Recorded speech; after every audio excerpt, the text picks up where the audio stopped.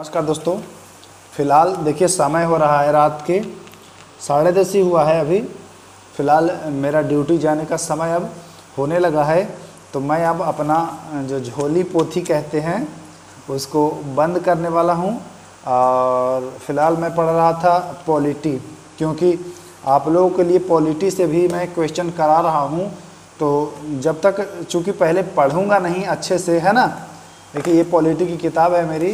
तो जब तक इसे मैं पहले पढ़ूँगा नहीं अच्छे से तो फिर मैं आपको बताऊँगा क्या, है ना? क्योंकि देखिए, मैं गुणवत्ता से समझौता नहीं करता हूँ, दोस्तों, ये आप लोगों को पता है है ना? जितने भी लोग मुझसे जुड़े हैं तो आप लोगों को पता है कि मैं गुणवत्ता से समझौता नहीं करता हूँ। तो पहले मैं विधिवत इसको पढ़ लेता हूँ, उसके बाद आप लोगों के सामने बिल्कुल डिटेल में कहीं कोई किसी प्रकार का डाउट ना रहे, और किताब की बात की जाए तो मैं बिल्कुल एकदम अच्छी ब्रांड वाली किताब ही पढ़ता हूँ, ताकि इस बुक में दोस्तों एक चीज़ रहता है कि इसमें त्रुटियाँ न के बराबर, है ना? त्रुटियाँ जो होती है वह न के बराबर होती है। तो ऐसे किताबों से हम जो भी क्वेश्चन तैयार करके और आप लोगों को देते हैं। फ़िलहाल मेरा ड्यूटी जाने का समय होने लगा है। देखिए, साढ़े दस से ज़्यादा हो गया है, रात साढ़े दस हो गया है ना? अब मैं जाऊँगा ड्यूटी। और फिर मैं लौटूँगा सुबह, फिर सोएँगे, उसके बाद कुछ क्वेश्चंस आप लोगों के लिए तैयार करेंगे, फिर वीडियो बनाऊँगा, फिर उसको पोस्ट करूँगा, तब जा कर के आप लोग को मिलेगा वीडियो तो आप लोग समझ सकते हैं कि देखिए, कोई भी काम आसान नहीं होता है दोस्तों। जैसे आप लोग अभी जो लोग नौकरी में नहीं हैं, उनको लगता होगा कि नौकरी लग जाने के बाद बहुत आराम है। देखिए, आराम क्या आराम, जीवन में आराम है नहीं कभी? अब बताइए, मेरी नौकरी लग चुकी है। पिछले आठ वर्षों से मैं नौकरी कर रहा हूँ, ठीक? लेकिन आराम, एक पैसे का आराम नहीं है। और ज़्यादा काम करना पड़ता है, नौकरी भी करना पड़ता है, उसके बाद फिर थोड़ा बहुत पढ़िए। अगर पढ़ेंगे नहीं आप तो फिर आप जो है, क्या करेंगे? इनके साथ, उनके साथ, उनसे फ़ोन में बतियाएँगे, इनसे फ़ोन में बतियाएँगे। मतलब आप अपना समय कुल मिला करके बर्बाद तो कर ही लेंगे, है ना? समय तो आप बचा ही नहीं पाएँगे।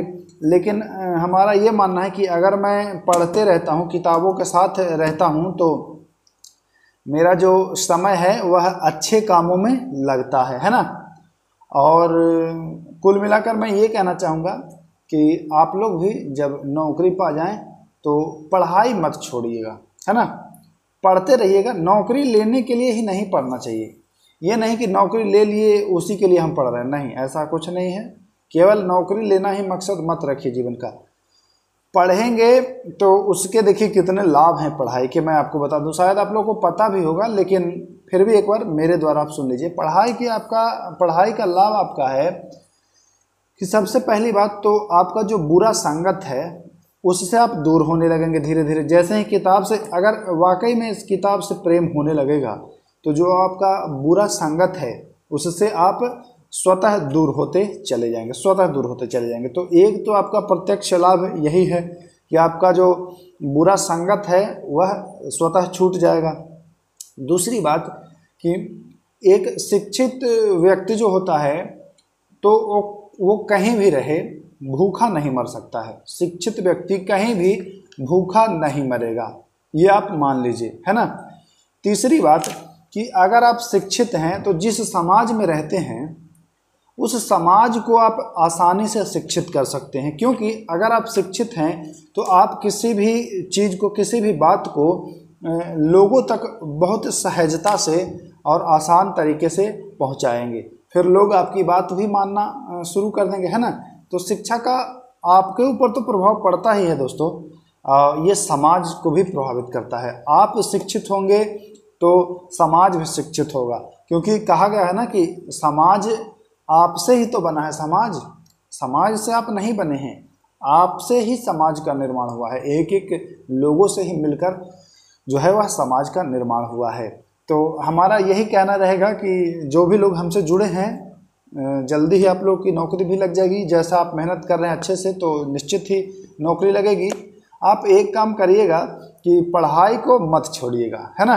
आप पढ़ के देखिए जीवन भर पढ़िएगा, बहुत ही मज़ा आएगा, है ना? पढ़ाई के अलावा जो भी और कार्य है करिए, लेकिन पढ़ाई मत छोड़िएगा। जैसा आप आप देखे हैं आप मोबाइल चलाना नहीं छोड़ते हैं, गाना सुनना नहीं छोड़ते हैं, क्रिकेट देखना नहीं छोड़ते हैं मूवीज़ देखना नहीं छोड़ते हैं, फ़ोन से बतियाना ये तो छोड़ते ही नहीं है है ना? तो उसी के साथ इसको भी ऐड कर लीजिएगा, बहुत अच्छी चीज़ है है ना? तो इसे भी मत छोड़िएगा। एक घंटे, दो घंटे, मैं ये नहीं कहता हूँ कि कंपटीशन का ही आप किताब पढ़िए। कोई भी किताब, जैसे किसी कहानी हो गया, प्रेमचंद की कहानियाँ बहुत पुरानी पढ़ी या नए राइटर हैं, बहुत सारे लोग हैं तो किताब पढ़िए। किताब से होता क्या है ना, कि आपको बहुत सारी जानकारी मिल जाएगा एक ही बुक में। बहुत ज़्यादा घूमने की ज़रूरत नहीं पड़ेगी, एक ही बुक में आपको, क्योंकि उस किताब में जो व्यक्ति किताब लिखता है, वह अपना सारा अनुभव लिखता है वो। तो आप किताब नहीं, उसके अनुभव को पढ़ रहे हैं, है ना? तो उसका अनुभव ले करके आप अपने जीवन को और अपने जीवन के साथ साथ आपसे जितने लोग जुड़े रहेंगे, उनका भी भला कर पाएँगे। तो मैं आप लोगों से यही कहूँगा कि इसका साथ बनाए रखिएगा। नौकरी लेने में तो ये सहायता करेगा ही, नौकरी के बाद भी बहुत सहायता करेगा।